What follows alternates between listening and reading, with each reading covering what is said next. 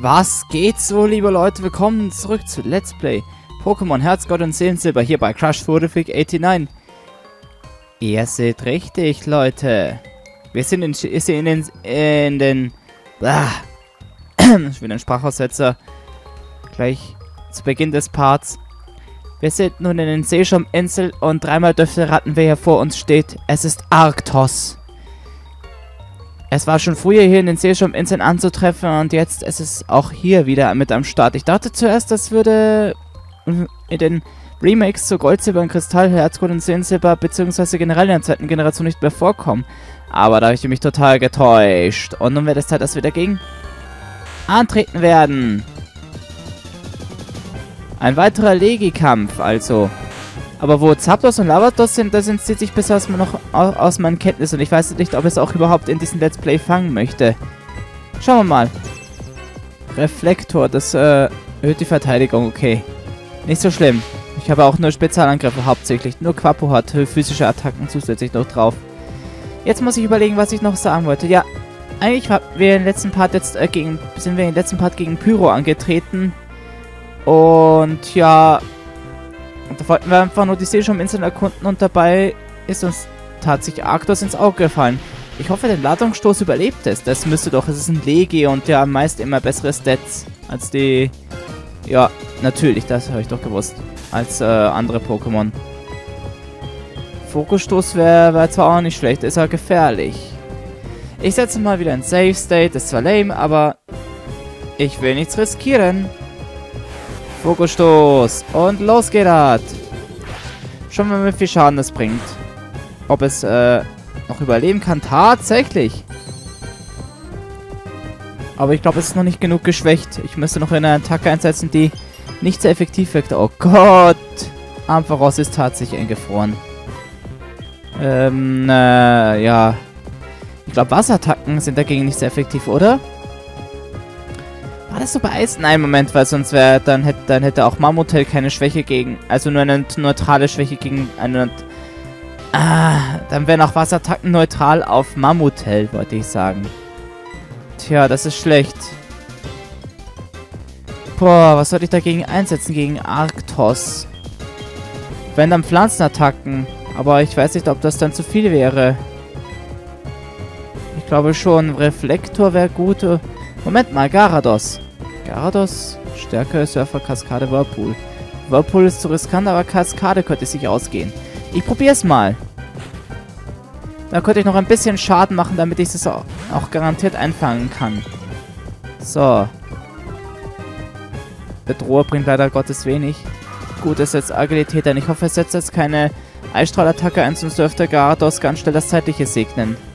So, probieren wir mal Kaskade. Obwohl, das ist auch normal effektiv. Das bringt... Alter, ich weiß nicht weiter. Und dann bringen nur Pflanzenattacken. Also, wenn es ist nur nicht effektiv mit Pflanzenattacken oder mit, äh... Oh, da weiß ich nichts, was noch äh, gegen das Eis äh, für eine Schwäche... Also, was Eis für eine Nicht-Schwäche hat. Beziehungsweise... Was gegen Eis nicht effektiv wäre... Puh, das ist anscheinend ein Eis, glaube ich, ja. Einfach nur Eis. Aber ich habe da keine Eisattacken drauf. Na schön. Ähm... Ich probiere es trotzdem. Kaskade, komm. Wird wahrscheinlich das Arktos umbringen. Und ja. Ja. Leider Gottes. Dann setze ich nochmal Fokusstoß ein.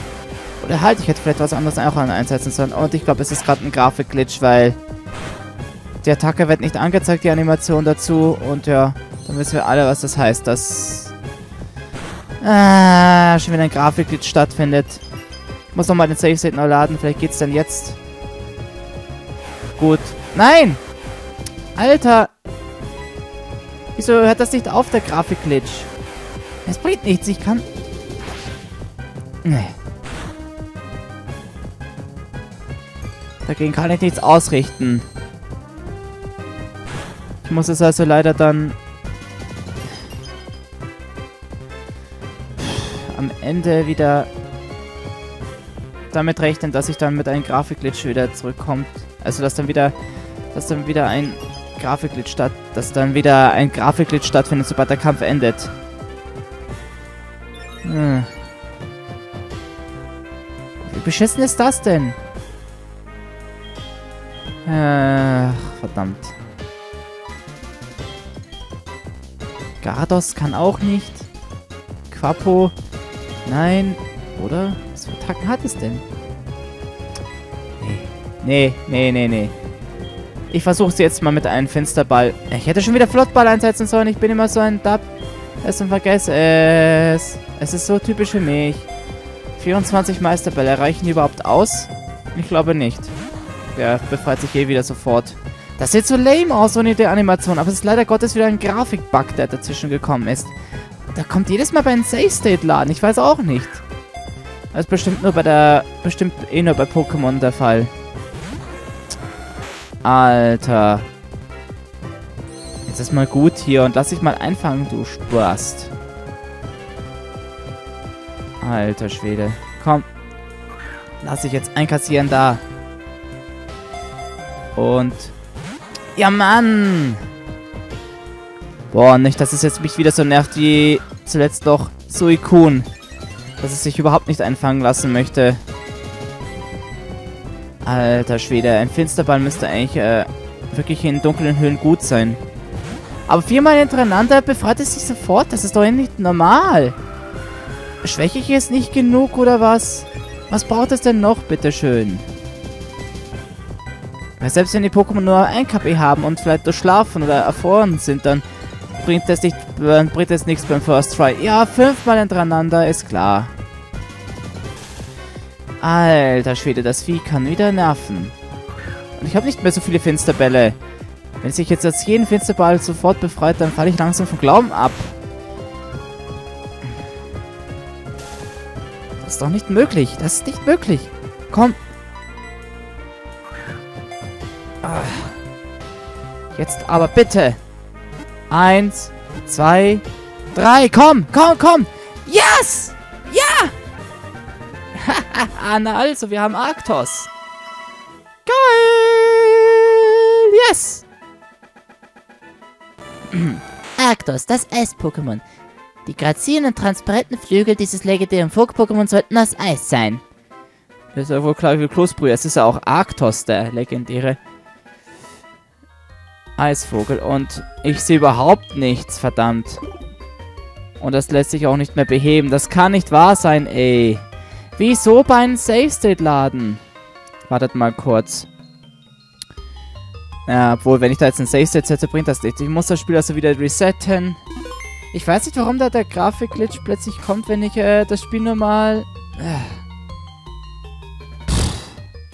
Meine Fresse, ey das Spiel nur normal starten möchte. So, geht's jetzt vielleicht? Dankeschön. Ist ja echt blöd, wenn ich jetzt hier blind durchrasen müsste. Ampharos ist immer noch gefroren. Na gut, jetzt müssen wir auf die andere Seite rauskommen. Oder Nee, wie wär's damit? Ich setze jetzt am besten gleich Fluchtseil ein und ähm, fliege dann mit äh, meinem Pokémon mit Togekiss nach Fuxania City und von dort aus gehen wir Nor Richtung Norden weiter dann. Achso, ah, jetzt werde ich schon Fliegen einsetzen. Von dort aus äh, verlassen wir die Stadt Richtung Norden und surfen dann die ganze Stelle, so wie es eigentlich äh, schon... Ah, wie soll sich Schutz ein... Fluchtseil bitte... So. Und äh, gehen den eigentlichen Weg, den man gehen sollte. So wie es äh, so es in der ersten Generation Tradition war. Oder vorbestimmt war, besser gesagt. Was? Den habe ich noch nicht herausgefordert? Ach, Moment, ich bin tatsächlich beim anderen Ausgang wieder gelandet. LOL. Hast du schon mal mit einem Pokémon gezelt gezeltet? Achso, gezeltet. Ich dachte schon, er meinte gezettelt. Was? Weil er hat er gesagt gezeltet. Auf einmal haben die weiterentwickelte Formen. Echt nicht euer Ernst, ey. Aber das werden dann die letzten Trainer sein, die man noch bekämpfen kann. Ist euer Ernst? Jetzt setzt der Schaufel ein, der Spast. Dann komme ich mit Fokusstoß, sobald es wieder rauskommt. Das werden dann die letzten Trainer sein, die letzten normalen Trainer, die man noch beherrschen kann. Nein! Nicht euer Ernst, ey.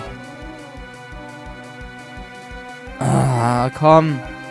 Wehe, wenn du jetzt nicht wieder triffst. Das Vieh nervt nur mit Schaufler unnötig. Komm. Also.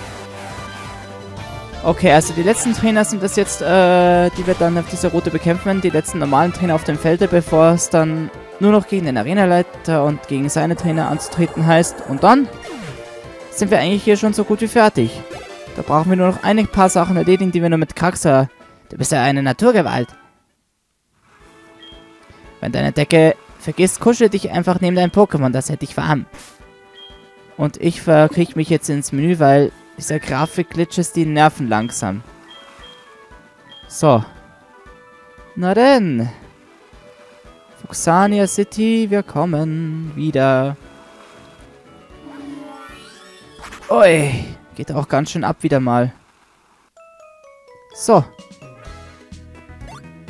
Äh, das Pokémon Center wäre ganz gut. Und ist das wieder der Kamera Kauz? Das ist sie. Ich wollte schon sagen, die beiden sehen uh, ziemlich gleich aus. Ich hatte zuerst das Gefühl, dass sie irgendwas, äh, nun ja, dass sie irgendwas mit den aktuellen Ereignissen zu tun haben, aber nee, dem war nicht so. Okay. Sobald wir da die Trainer besiegt haben, geht es dann zurück nach Vatania City. Dort, dort können wir dann endlich auch gegen Gary, den Arenaleiter, antreten. Alter! Lass es mal gut hier. Ich bin, ich will kein Missing sein. Nehmt auf der Zinnobergrenze wurde verletzt. Das ist echt großartig. Ja, das ist es allerdings. Früher waren hier auch Bauarbeiten angesagt, wenn man versucht hat, jetzt also schon jetzt äh, Fuchs seine City zu verlassen. Man musste also noch andere Sachen vorher erledigen. Man konnte also noch nicht äh, hier zu den äh, Seeschauminseln rüber. Aber jetzt geht es. Die Planierarbeiten sind nicht fertig. Jetzt kann der Agel gehen. Ich habe so viel geschwätzt, dass ein paar Runden im Wasser sicher nicht verkehrt wären. Da kannst du dich den Schwimmern gesellen. Da kann man noch zur Trümmer einsetzen, aber das mache ich jetzt nicht, weil ich möchte mich jetzt nicht von irgendwelchen unnötigen wilden Pokémon nerven lassen. So. Dann surfen wir wieder eine hübsche Runde und bashen unterwegs jede Menge Trainer. Ich hoffe, der Schutz reicht auch aus, den ich noch habe. Nur noch achtmal Superschutz. Wow. Es erwarten noch einen, einen Haufen Trainer, aber wenn wir die erstmal alle haben, dann, ja, sind wir fertig. Fehlt nur noch der Arenaleiter. Und da bräuchten wir vielleicht noch äh, ein paar Sachen. Ja, ein paar Trainer wird es noch irgendwo geben, die wir zum Beispiel in der Dunkelhöhle, wo man, die man nur mit Kraxer erreichen kann. Lake?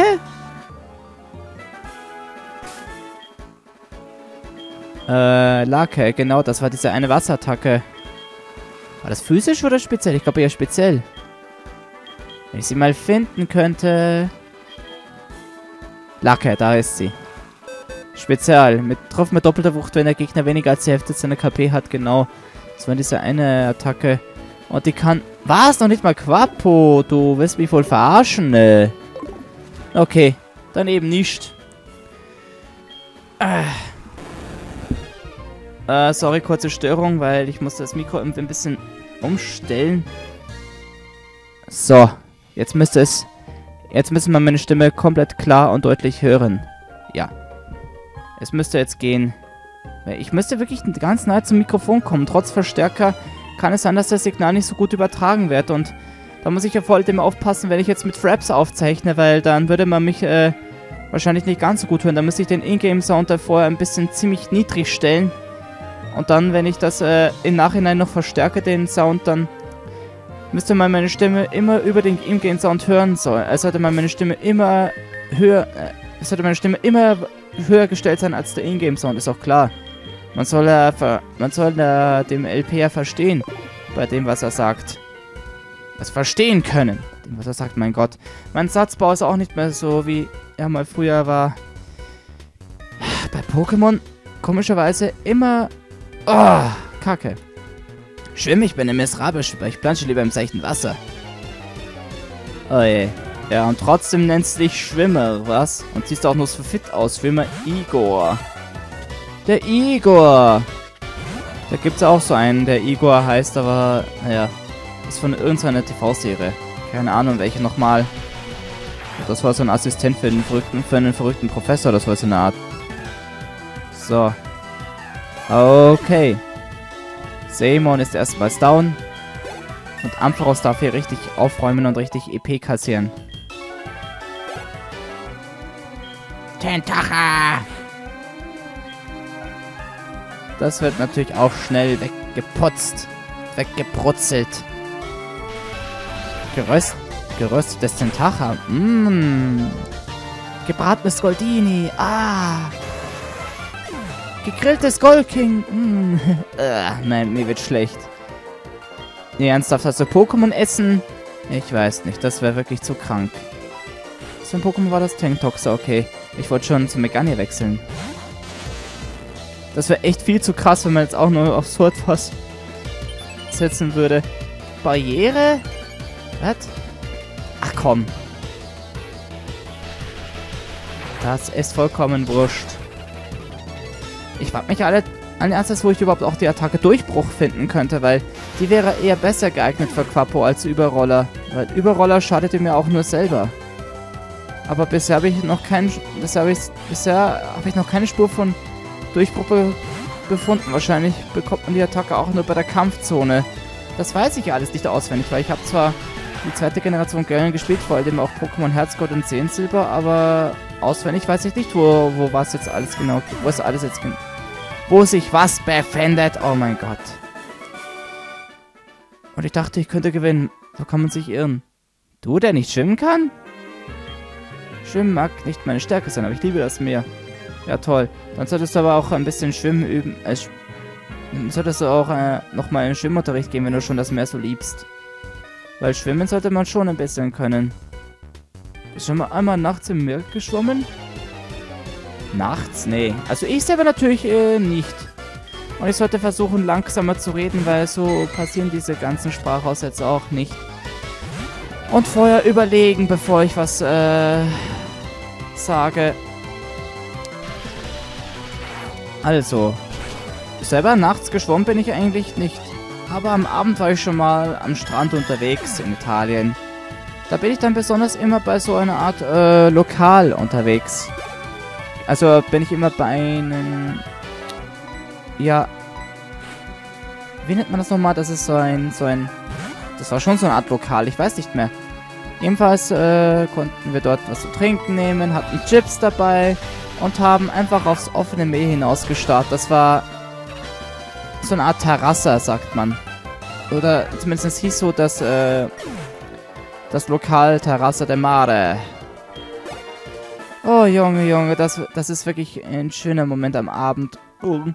Am Tagsüber am Strand gehen, sich sonnen, schwimmen gehen, ein bisschen in den Spielsalon noch zusätzlich, also in die Spielhalle rein, zocken und dann durch die Stadt schlendern, ein Einkaufsbummeln machen und äh, am Abend auch noch ein bisschen durch die Stadt schlendern und dann am Strand da auch ein bisschen spazieren gehen und dann bei der Terrasse, also dem Lokal, den Sonnenuntergang bzw. am Abend den schönen Nachthimmel betrachten und sich äh, was Gutes, Kühles zu trinken gönnen und dabei das Rauschen des Meeres lauschen.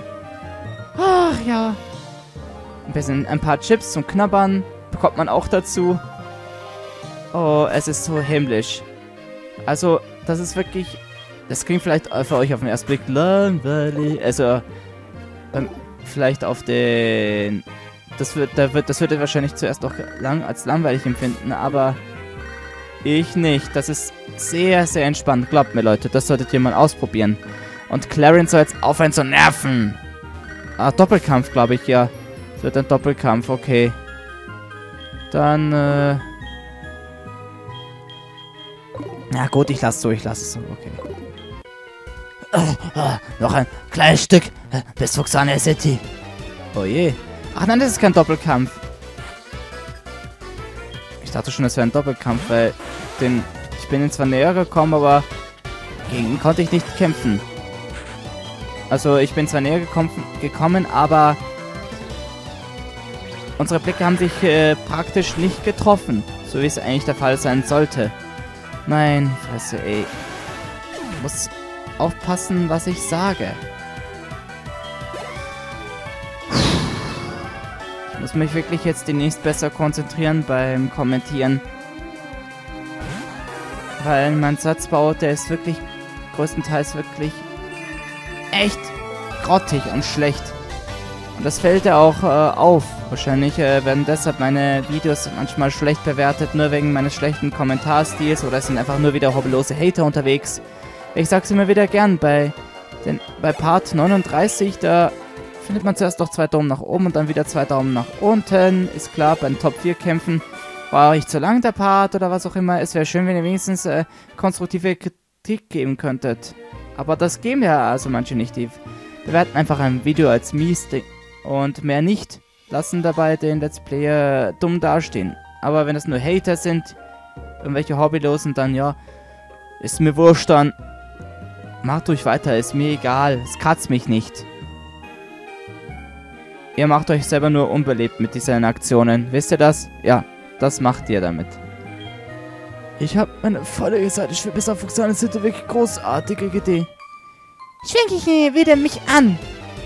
Oh je, ist das deine Freundin? Ich würde mir dann lieber eine andere suchen, wenn die so... Ja. Wie sagt man? So zickig ist, genau. Eine richtige... ja. Mehr sage ich lieber nicht, sonst äh, wenn die weiblichen Zuschauer sich nur... Ah, sich nur angewidert fühlen oder abschrecken.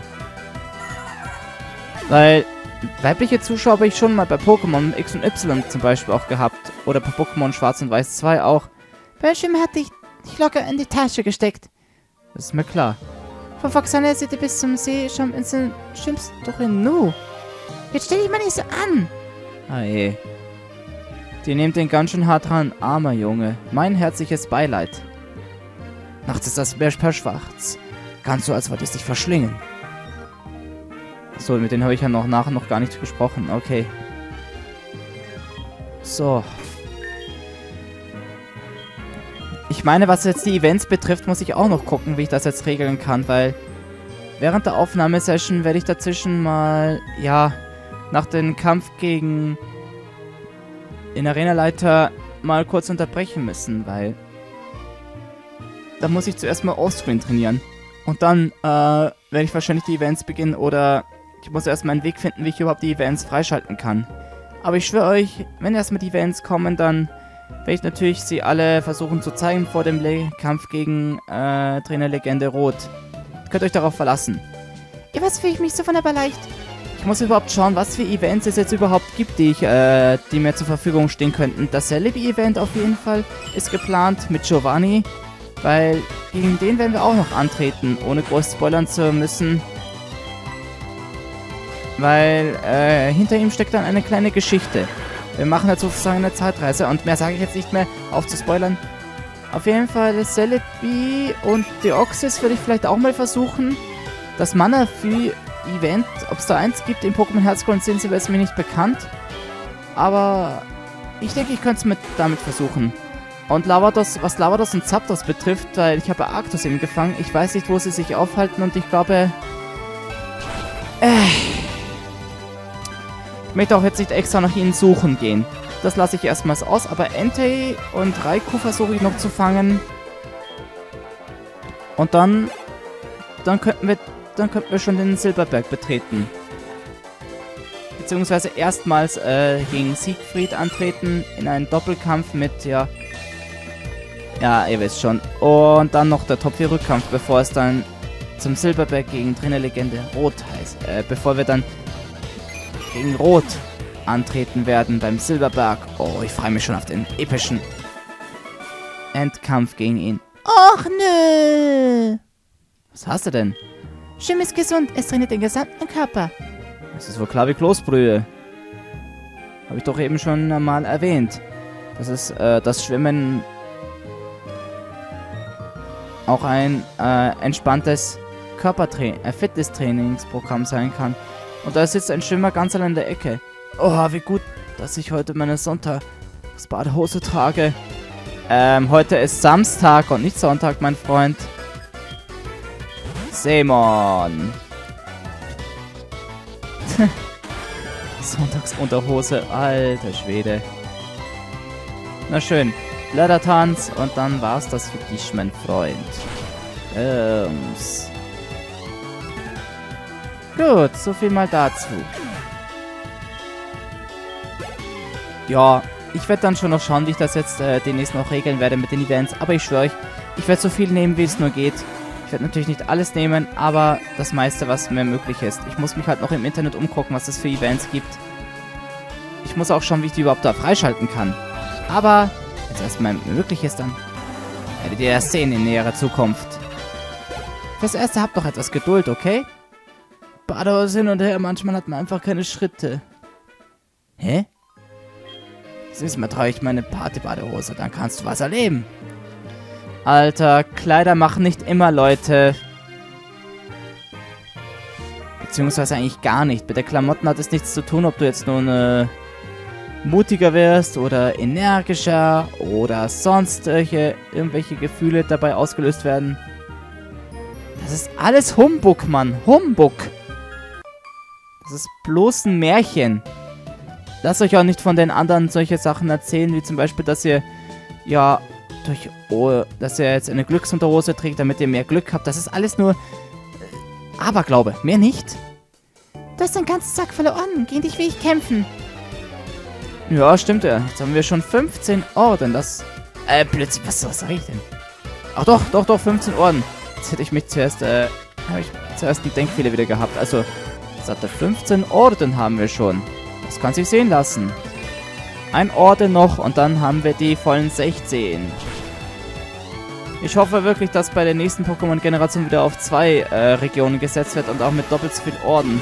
Das wäre so episch, aber ich weiß nicht, ob Game Freak wirklich noch daran arbeiten möchte, weil seit diesem Spiel haben sie es ja wirklich komplett ausgelassen. Ich weiß nicht warum. Hat es den Fans nicht gefallen? Ist es... Ist irgendwas, äh... Hat irgendwas nicht gestimmt? Das würde ich zu gerne mal erfahren, was da jetzt los ist, warum da jetzt auf einmal nicht mehr, ja, äh, eine Edition rauskommt oder eine Generation, wo man gleich zwei...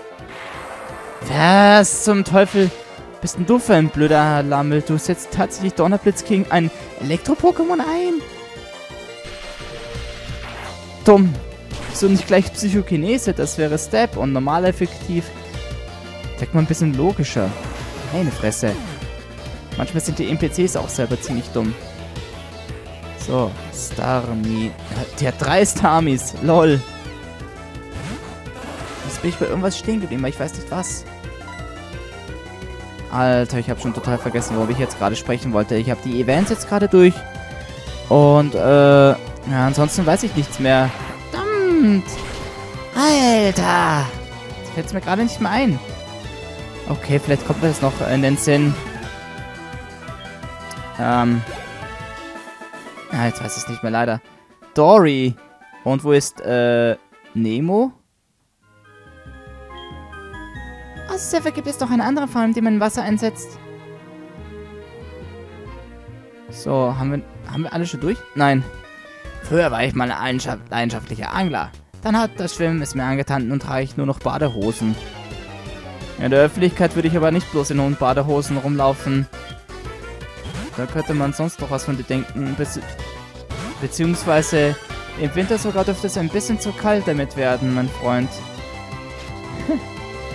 Es sei denn, du bist ganz schön abgehärtet, aber... Ja. Bei irgendwas war ich doch stehen geblieben. Das hat doch mit... Ja, das, das hatten wir schon. Das mit den Humbug, mit den äh, Glückskleidern und was auch immer für ein Kack, dass das alles äh, Glück bringen soll und was... Und so weiter und so fort. Ihr wisst schon. Nee, worauf ich jetzt eigentlich hinaus möchte, da war jetzt doch was. Ach ja. Ich meine, was ich da auch, was mir da auch in letzter Zeit immer auffällt, was ich da auch öfters im Fernsehen oder so sehe, wie, da, wie es da Typen schaffen, im Eiswasser zu schwimmen. Und das denen auch noch gefällt. Inmitten einer schneebedeckten, ja, in einer schneebedeckten Landschaft mit einem Minusgradwasser, in der Badehose in ein Minusgradwasser reinzuspringen. Oh! Also entweder sind die extrem abgehärtet und finden das geil, was ich mir nicht vorstellen kann, oder Das hat einen ganz anderen Grund, weil das ist... Das muss schon Hardcore sein. Hm. Ich möchte niemals in Eiswasser schwimmen. Ist mir zum Glück noch nie passiert. Da sollte ich mich doch lieber dem Angeln widmen. Ich meine... Boah, das wäre echt zu viel, wenn mir das auch mal passieren würde. Aber es war zum Glück nie so. So. Auf dem Weg nach Vertania City. Okay. Zurück nach Vertania City. Okay, liebe Leute. Es wird Zeit. Ich werde jetzt nochmal mein Team umdekorieren. Und dann, jetzt wo wir alle Trainer gebasht haben und Arctos auch noch einkassiert haben, geht es ab dem nächsten Part weiter mit dem Arena-Leiter. Mit Gary. Ihr könnt euch schon mal drauf freuen. Bis dahin sage ich jetzt mal Daumen hoch, wenn es gefallen hat. Und ich hoffe, ihr seid dann wieder beim nächsten Part dabei. Seid gespannt und schaltet wieder ein. Euer Crash geht hinein. Bis zum nächsten Part von Let's Play Pokémon Herzgold und Seelensilber. Also auf Wiedersehen und tschüss, Leute.